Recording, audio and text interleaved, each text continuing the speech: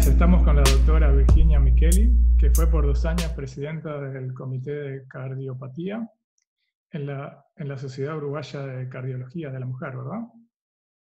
Hola, buenos días, Jimmy. Sí, soy fundadora y expresidenta del Comité de Cardiopatía en la Mujer de la Sociedad Uruguaya de Cardiología. Y además tú tenés un, o participás en un programa de radio mm, dos veces al mes en Radio Carve con Daniel Castro. Soy columnista de, de, de Informativo Central Carve. Contanos un poco de los programas en la radio, también te vimos mucho en la televisión. Bueno, porque a partir de, un poco de la actividad justamente del Comité de Cardiopatía en la Mujer y de instalar este tema de lo que es la perspectiva de género en salud cardiovascular, eso por suerte ha suscitado una divulgación a nivel de los medios. Nosotros vimos que era importante salir del medio académico y de estar hablando siempre entre nosotros para llevar ese conocimiento a la población en general. Es así que hace un año que Daniel Castro me invitó a participar de una columna para darle continuidad al tema, una que se llama Corazón de Mujer, y que justamente en Informativo Cardio Central trata de eh, los temas de cardiopatía con una perspectiva de género las entrevistas que he realizado también van un poco por este lado. ¿Y cuánto crees que ha concientizado eh, todo tu trabajo en, en, cuanto a que las mujeres estén más conscientes de, de las medidas que tienen que tomar? Para, porque, mm, según escuché, 14 eh, mujeres mueren en promedio por día por problemas cardiovasculares, ¿cierto? Que es muchísimo. Sí, es verdad. Sí, es la primera causa de muerte en las mujeres y cuando vamos a aclarar siempre cardiovascular es cardíaco y cerebral, ¿no? Todo lo que afecta los vasos. Y, y, sí es la primera causa de muerte, justamente. Nosotros eh, notamos que había un problema, esto ya hace casi 10 años atrás, hicimos una primera encuesta de percepción para ver que las mujeres que pensaban, que percibían del tema y no percibían la las enfermedades cardiovasculares como un problema de salud. Ahora realizamos una segunda encuesta que estamos evaluando los resultados ahí en, preliminares y realmente eh, lo que hemos hecho en todo este esfuerzo de estos años no se ha reflejado con éxito aún. A pesar de que hemos logrado incluso un Día Nacional de Concientización de la Salud Cardiovascular de la Mujer, que es todos los 9 de marzo, pero bueno, falta mucho por hacer aún. Muy bien. Y mm, eh, uno de los motivos que, escuché en algunas entrevistas es que la mujer demora más tiempo que el hombre en solicitar mm, ayuda médica cuando puede llegar a tener los primeros síntomas, ¿cierto? Sí, es verdad, la mujer eh, típicamente se posterga, entonces llega más tarde y llega en peores condiciones, llega más grave a una consulta. ¿Por qué? Porque piensa que a ella no le va a pasar, porque eh, primero siempre tiene otras cosas más importantes que hacer, que arreglar la familia, la casa, y porque no reconoce sus propios síntomas, que no son los mismos que se describieron para las poblaciones masculinas, como los síntomas típicos de, por ejemplo, una enfermedad, un infarto, un ataque cardíaco. ¿Qué es lo que en pocas palabras le podés eh, darle como consejos ¿no? en ese sentido? Claro. Bueno, el clásico angor, el dolor en el pecho, opresivo, en plancha, que se siente a veces, que las mujeres sienten a veces, eso fue descrito por una población de 100 personas, de los cuales 96 eran hombres. Entonces ya ahí partimos de, un sesgo, ¿verdad? Entonces eso no es lo más típico que a veces manifiestan las mujeres. Las mujeres a veces manifiestan eh, malestar estomacal, malestar general, cansancio, síntomas como desfiliación digestiva o nerviosismo, angustia, dolor en la mandíbula, que fue otro trabajo también interesante que realizamos con la cátedra de fisiología de Facultad de Odontología, que se vio que las mujeres también a veces manifiestan como síntomas de, de isquemia, de falta de irrigación cardíaca, el dolor de mandíbula, dolor en las muñecas, dolor en los hombros, pesadez, que algo no está bien. Algunas de ellas que mencionaste eh, pueden ser típicas o todavía más eh, con más gravedad o con, con más intensidad eh, cuando, cuando, la mujer está viviendo la menopausa. Eh, hay distintas manifestaciones de lo que es el síndrome climatérico, que es todo lo que está alrededor de la menopausia, que se define como la última menstruación. Las mujeres, otra diferencia con los hombres es que justamente los infartos, los problemas cardio y cerebrovasculares, ocurren más tarde, 10 años más tarde que en el hombre, justamente en la posmenopausia, cuando la protección estrogénica se, se va perdiendo.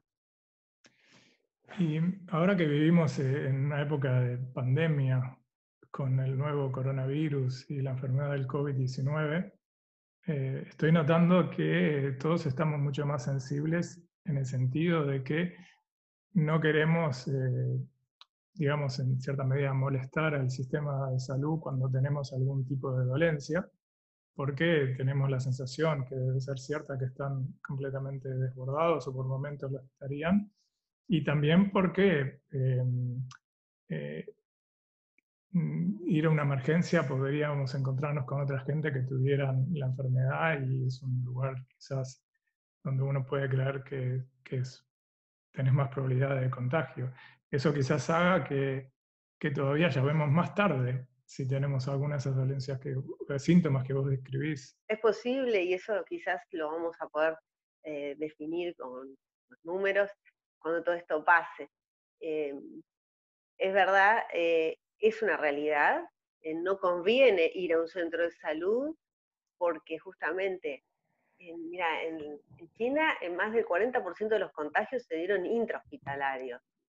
O sea, es una zona de riesgo, es donde se encuentran los casos, donde se, donde se reúnen la mayor cantidad de casos positivos.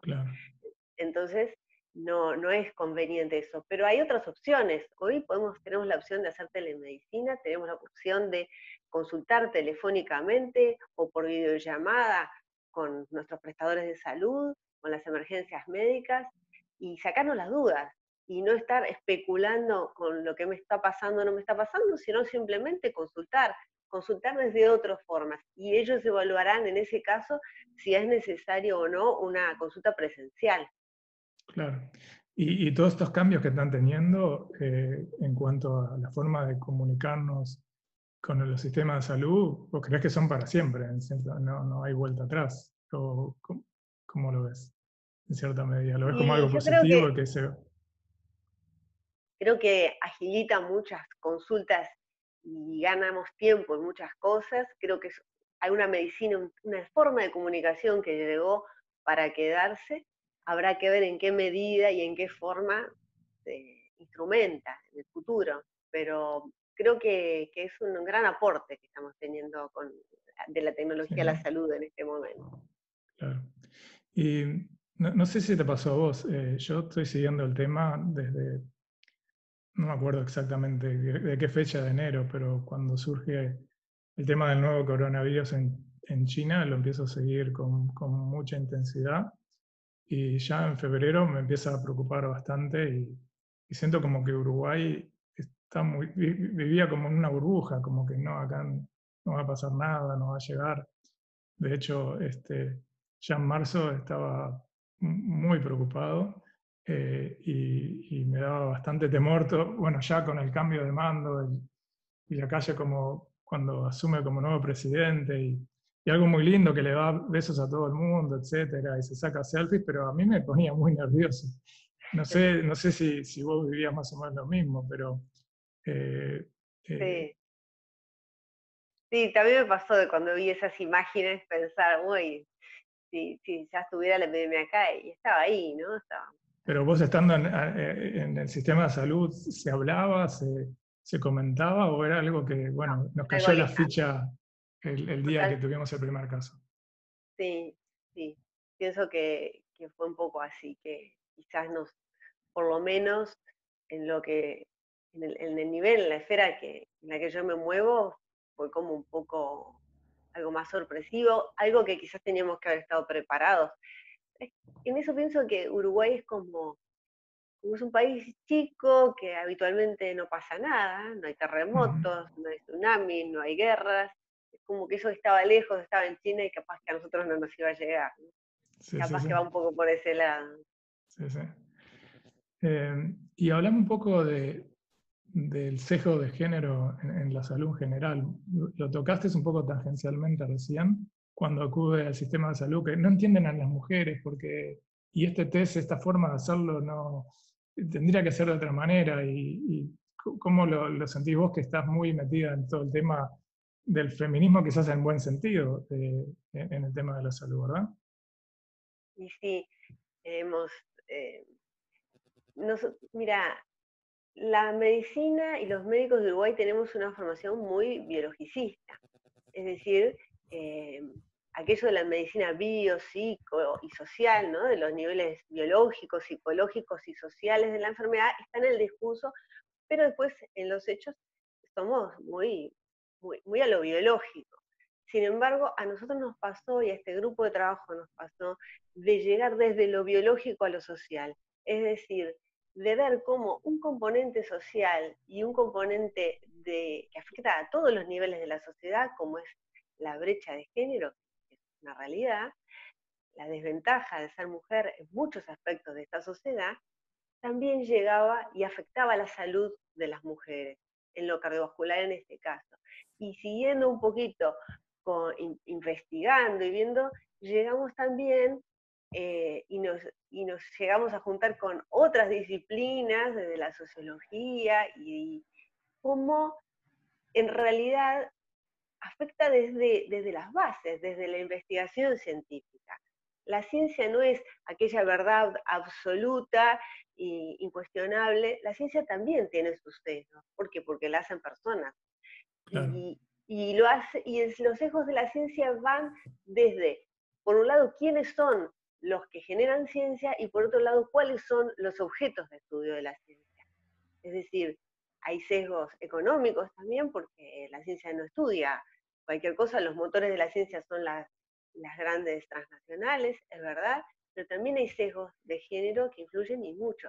Como te comentaba, desde, por ejemplo, los casos de los, la descripción del síntoma Angor, que es del 1800 y pico, también sucede como por ejemplo los tratamientos. Entonces, eh, muchas veces, y, los análisis, las pruebas diagnósticas, por ejemplo, la prueba ergométrica, la, el, el treadmill, la, la prueba de esfuerzo, el electrocardiograma sí, me lo hice varias veces. Fue descrita en poblaciones masculinas íntegramente. Entonces, no es que pierda valor, sino que no se pueden extrapolar resultados a, que son eh, desarrollados y definidos para poblaciones masculinas a poblaciones femeninas, porque no somos iguales, porque hay diferencias biológicas, y esas diferencias biológicas tienen que ser estudiadas.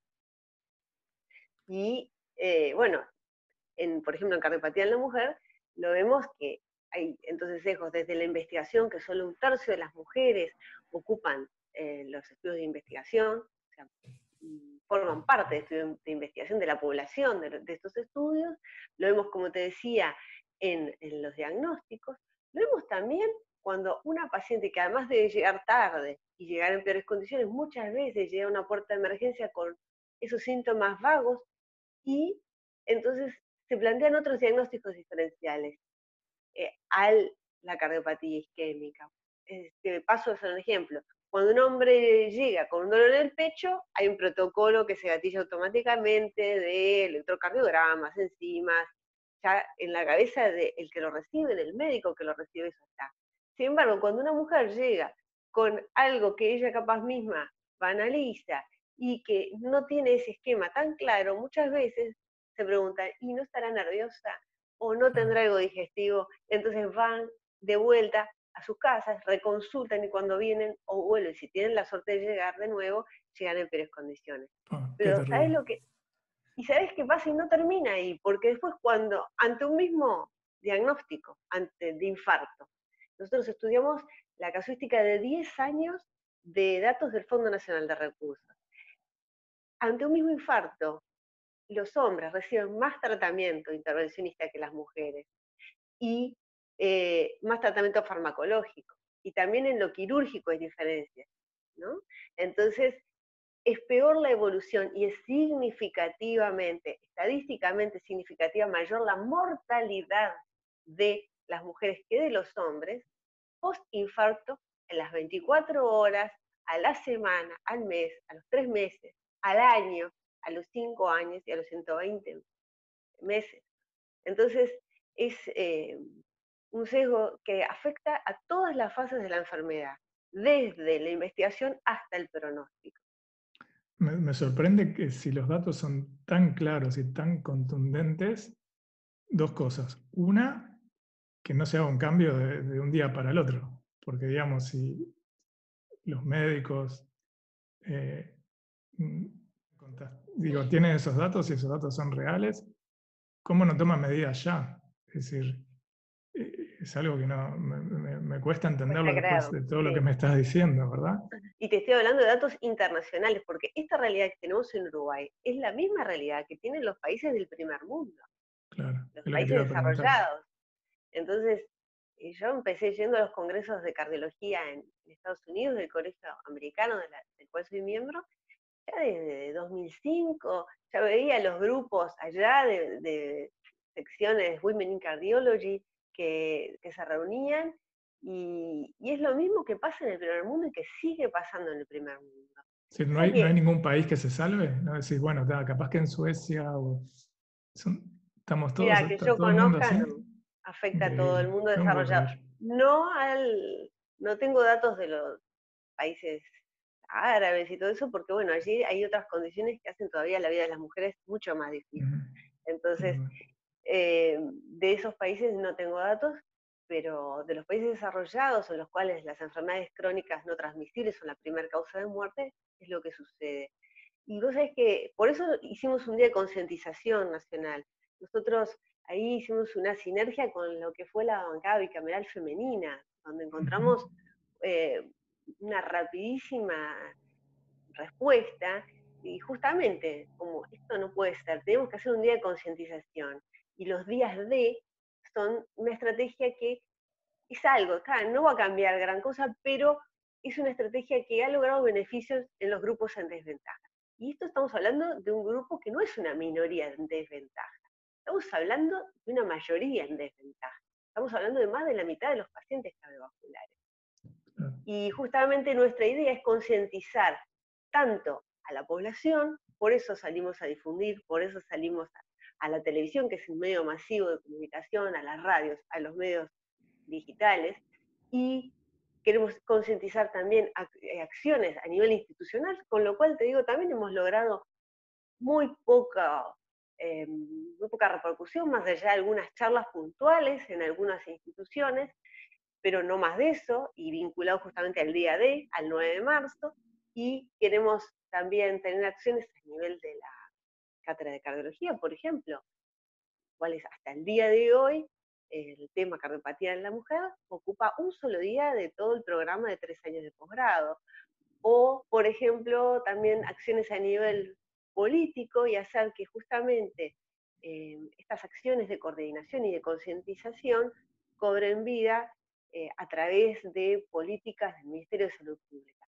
Y en eso estábamos, pero bueno, ahora todo este tema de la pandemia ha llevado a que esto pasara a un segundo plano y es, así. Igual, igual eh, aunque algo sabía, hablando así contigo, no es algo de mi sorpresa, ¿no? Porque digo, si, si, esto se da así, en este caso que es tan claro y los números son tan contundentes, ¿qué le queda a otras cosas? que tengan que ver con la salud o con otros temas, ¿no? Eh, y, tocamos eh, hace poco el, tema hormonal, que es, tan, que es tan notorio en la mujer, eso también está investigado fundamentalmente por hombres que no entienden la problemática. ¿Tú crees? porque los que hacen ciencia generalmente son un grupo privilegiado, que es así, son un grupo generalmente de hombres de alto poder adquisitivo, en su mayoría de raza blanca, y que son los que justamente eh, tienen acceso a, esos cargos de decisión y los que llegan a poder definir cuáles son las estrategias de, investigación. Claro, pero eso hace, si uno mm, profundiza un poco más, que en cierta medida dejemos de confiar en, en la ciencia y en los médicos, porque si, si tienen esos tema de sesgo, y vamos ahora al nuevo coronavirus, etcétera, bueno, ¿por qué tenemos que confiar en lo que nos están diciendo si tienen sesgos tan evidentes que cualquier persona escuchando esto con sentido común dice, chau, vamos a cambiar, ya está, mañana listo? Toda actividad humana tiene sesgos, sesgos de distintos tipos, hay muchas clases de, sesgos. Y eso es inevitable, toda acción humana va, a siempre estar eh, sesgada por, por la experiencia, por las vivencias, por, por de dónde surge. El tema no es negarlos ni decir que está mal, el tema es reconocerlos, ponerlos sobre la mesa, gestionarlos, gestionarlos y bueno, tener acciones para que minimicen y contaminen lo menos posible, eh, en este caso, la, la investigación científica. Te escuché recientemente sobre algunos consejos que tú dabas sobre eh, cómo cuidarnos en este momento. Y algunas de las cosas que escuché, la escuché por primera vez, y eso que leo muchísimo. Y son eh, consejos este, que tienen mucho sentido común, pero no sé por qué, no, sé, nunca me había... Uno es que eh, usemos la mano no diestra, ¿no? la mano no hábil. No hábil, ahí va. Para, mm, para abrir las puertas, etc. Lo de la mano, ¿qué sucede? tenemos no nos damos cuenta, pero estamos constantemente tocándonos el pelo, tocándonos los ojos, rascándonos, tocándonos la nariz a veces, o llevándonos algo a la boca. Entonces, si los lugares muy contaminados, que a veces no, no desinfectamos de forma adecuada, como son los picaportes o eh, abrir las llaves, eh, entonces si nos habituamos un poco a, usar la otra mano, además de que estamos también ejercitando el, otro hemisferio del cerebro, o sea, el, no dominante, depende si uno es diestro o, zurdo, y, bueno, eso es un, tip, un pequeño tip que también puede, puede ayudar a eso. Sí, está muy bueno. Algo, algo que, realmente a mí me, me saca mucho es el tema de el uso correcto del tapabocas, que me parece una herramienta fundamental en este caso porque es sencillo. El virus sale por la boca, por la nariz y entra a nuestro organismo por los ojos, por la nariz y por la boca. Entonces, es una herramienta fundamental de barrera que hace que el que esté infectado deje sus, sus microorganismos del lado de adentro y en menor medida pasen al aire o a otras personas. Y y, por eso es válido, y son válidos también los tapabocas de fabricación casera, porque justamente tenemos que considerar que estamos todos contaminados. Y no nos tiene que dar vergüenza usarlo. Al revés, como hacen las culturas orientales, esto es un tema de respeto y de protección y de cuidado hacia el otro. Entonces, el uso del tapaboca creo que, que tiene que ser visto de esa forma, como una acción de respeto y de cuidado hacia el otro, fundamentalmente. Y también como una herramienta más de cuidado hacia nosotros. Si el que está contaminado usa un tapabocas y yo, que no estoy contaminada, espero, uso un tapabocas, entonces la transmisión va a ser menor. Pero igual, hagamos de cuenta que todos estamos contaminados. Yo hacía la analogía con, con el SIDA, con el HIV. No podemos decirle que usen preservativos simplemente a los que están en fase SIDA sintomático. Uno sugiere el uso de preservativo para eh, todo el mundo. Y esto es lo mismo. No podemos solo dejar el uso de la máscara para el que está sintomático y contaminado. Si hay más de un 20% de asintomáticos que están contaminando por ahí y no lo saben.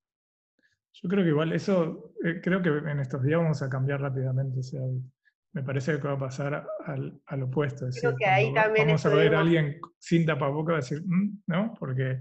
Ojalá, ojalá que pase pronto, porque en eso Es como que nos pasa ahora, si vamos al supermercado, si vamos al supermercado y alguien estornuda, salen todos corriendo, ¿no? sí, bueno, y en eso creo que venimos reaccionando un poquito tarde, y ojalá que en el supermercado, y ojalá que en los centros de salud sea de uso obligatorio pronto, para todo el personal de salud que al día de hoy no lo es. Es más, me pasó de entrar a alguna institución de tapabocas y decirme, usted no puede pasar así. Y eso me pasó hace un par de semanas. Es ¿y, qué pasa afuera, no? Afuera también decís que tenemos que usarlo si, damos una vuelta a la manzana, si salimos un minuto a la rambla, o también podemos pasar el tema de la salud mental, que también es re importante, ¿no? Eh, bueno, hay varios, temas, hay varios temas interesantes que tocaste ahí. Por un lado, eh, justamente hay un estudio belga muy fresquito que habla de lo que es la dinámica de las partículas y que algunos se piensan porque van en bicicleta rapidito o van corriendo, eso no les afecta. Y se vio que la distancia, justamente cuando uno va a más velocidad, la distancia de seguridad y distanciamiento social físico que hay que tener se incrementa a 10 metros y 15 metros, 10 eh, metros caminando, si mal no recuerdo, y 15 metros en bicicleta. Entonces, eh, más aún, la gente se piensa que porque te corre el vientito, porque estás al aire libre, eso es seguro, pero las partículas permanecen hasta dos horas flotando en el aire y, bueno, hay que cuidarse. ¿Qué vamos a hacer? Estamos ante un enemigo que no vemos, pero que está ahí, que es grave, es letal. Yo lo que leí que permanecen en el aire en lugares cerrados, en lugares abiertos no debería, ¿no? Por lo menos parecería que no. El estudio este belga muestra datos en ese sentido. Después te lo paso, lo, tengo en mi Twitter, en no. Bemicheli, Bemicheli, defines al final, arroba Lo pueden ver ahí. Bueno, y, y, qué consejos das para la salud mental? ¿no? Porque algo tenemos que hacer para mantenernos eh, con una armonía y estabilidad, porque no nos podemos ayudar, no podemos ayudar a los demás ni a nosotros mismos si estamos eh, muy aturdidos con todo esto, ¿verdad? Y yo creo que es importante estar informados, a veces capaz la sobreestimulación de información también tenemos que poder acotarla. Eh, estamos, uno prende la televisión y las 24 horas del día estamos escuchando lo mismo, quizás por ahí por un lado, el otro tema es la ocuparnos, no es como la labor terapia. A mí cuando me dicen me aburro, yo no puedo creer, porque hay tantas cosas que uno puede hacer que realmente creo que, están a disposición dentro de nuestra casa o a través de las plataformas digitales, que es, increíble la variedad de cosas que tenemos. Y por otro lado, me parece que es algo que no hay que banalizar. Es decir, em, todos estamos perdiendo mucho en esto todos estamos tratando de cuidarnos y todos estamos poniendo, casi todos, mucho en tratar de salir cuanto antes de esto. Y la forma es quedarnos.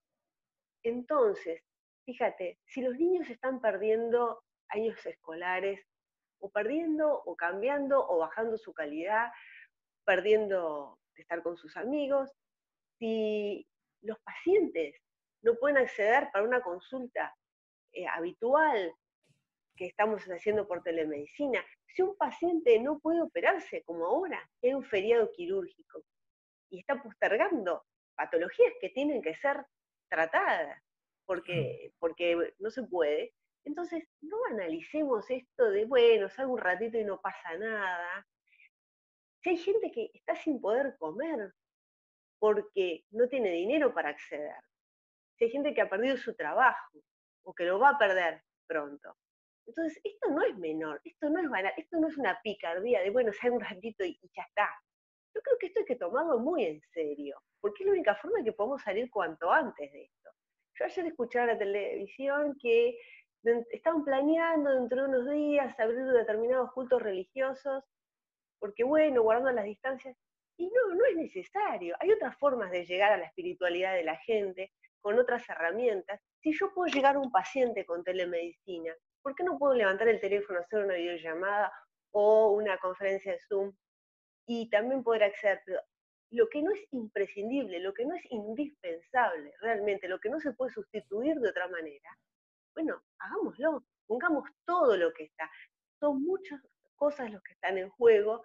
Em, la salud, primero que nada, que eso sí no tiene reposición, pero también, como te decía, estamos todos poniendo mucho y todos estamos perdiendo mucho, así que tratemos de salir lo antes posible de esto, seamos prácticos. Así que bueno, nos tenemos que aguantar en casa, nos tenemos que aguantar en casa, ya está, no hay vuelta. Ahora, si, si la vacuna demora como dicen los expertos, un año, un año y medio. Eh, la única forma de lograr la inmunidad es contagiándonos. Si hacemos, si todos nos quedamos en casa todo el tiempo durante meses, un porcentaje muy alto no se contagia y al final, después cuando empezamos a soltar, se empiezan a contagiar y viene una segunda ola. Tiene que haber también un, equilibrio allí, ¿no, no, crees? Porque si no, no termina nunca. A mí me parece que, no, que en realidad lo que hay que evitar es el contagio, justamente. Porque para el que le toca, el que le toque en un respirador con un 50% de mortalidad, para ese es el 100%. Claro, pero puede ser, puede que digan que el otro tiene, bueno, pero ¿y quién se va a querer prestar a eso? no, digo selectivo en el sentido, eh, la gente que tiene eh, precondiciones eh, o tiene mayor, mayor de 65 o 70 años, como que hay que, no sé, por lo que leí, se necesita una estrategia. ¿Sabés cuántos pacientes no tienen yo por el tema de factores de riesgo cardiovascular, que son finalmente las condiciones predisponentes, ¿no? Y algunas otras. No estoy hablando, por ejemplo, de los EPOC, ¿no? Que ya es toda una enorme población. El 2% de la población no tiene algún factor de riesgo cardiovascular, solamente. ¿Solo el 2%? Solo el 2%. Cardiovascular. No estamos hablando, por ejemplo, de, no, pero, de, de, respiratorios, de, personas de edad media en adelante. Entonces, ah, si solo el 2% no tiene factores de riesgo cardiovasculares, ya te digo, no estoy hablando de los respiratorios, que no son factores de riesgo cardiovasculares, por ejemplo, entonces, u otros tipos de enfermedades. Y después también ves que gente, hay muchos casos en el mundo también de gente joven que por alguna condición no estudiada, predisponente, esto tiene que ver mucho de inmunidad, todo lo, que es la reacción inflamatoria del organismo de cada uno. Condiciones hasta genéticas. ¿Por qué en Italia hay una tasa de mortalidad tan alta? Ah, es multifactorial, hay sistemas de salud, lo que sea. Pero no sabemos en realidad. Otro factor, por ejemplo, es la multiexposición. El personal de salud tiene mayor eh, el virus se presenta con más letalidad que en el resto de la población. ¿Por qué? Por la sobreexposición repetida de la gente. Entonces, en realidad, lo que hay que hacer es cuidarnos y evitarnos el contagio. No hay otra, porque al que le toca, le toca, y, te puede, puede haber enfermos graves. Ahora, por ejemplo, la paciente esta de Nuevo Berlín, 43 años sin factores de riesgo, mujer. Pero de esa manera no vamos a salir también, porque hasta que no esté la vacuna, ¿cómo salimos? O vaya un tratamiento quizás que sea efectivo para que nadie termine grave. Porque... Y ojalá yo pudiera respondértelo, Jimmy, pero es difícil. No, no soy experta en el tema y mis conocimientos tampoco. Es lo que hay hoy, es la realidad que tenemos. Claro. Es como una guerra. Sí, sí, es una guerra. Sí. Nos tocó vivir algo que, bueno, nunca pensamos que nos iba a tocar, pero que tiene, bueno, siempre hablando de abuelos y bisabuelos que vivieron temas este, muy terribles, este, hoy nos tocó uno que, bueno, dentro de todo es un poco más fácil porque lo que hay que hacer es quedarse en casa, ¿no? Por favor. Este, no. hay una frase que es muy linda de García Márquez que dice que la vida es una sucesión de oportunidades para sobrevivir. Claro. 100 años de soledad. Yo creo que sí, sí. es eso. Y de última, nosotros estamos aquí porque somos. Eh, todos nuestros antepasados han sido sobrevivientes de algo, porque no podemos pensar de que nuestros antepasados la tuvieron sencilla. Al contrario, creo que la tuvieron más complicada que nosotros. Si, nosotros estamos aquí, es porque ellos superaron todas esas, todos esos desafíos gigantes. con distintas estrategias y, con, con, mucha resiliencia también, ¿no? Así que tenemos que apelar a esos mecanismos para seguir adelante. Exacto. Bueno, Virginia, muchísimas gracias. Hemos aprendido muchísimo y ha sido un placer hablar contigo. Espero que a todos los que nos escuchan también les guste y disfruten como lo disfruté yo. Y te agradezco mucho. No, gracias a ti. Bueno, espero haber aportado mi granito de arena en algo de todo esto y, y, gracias por, por todo. Gracias.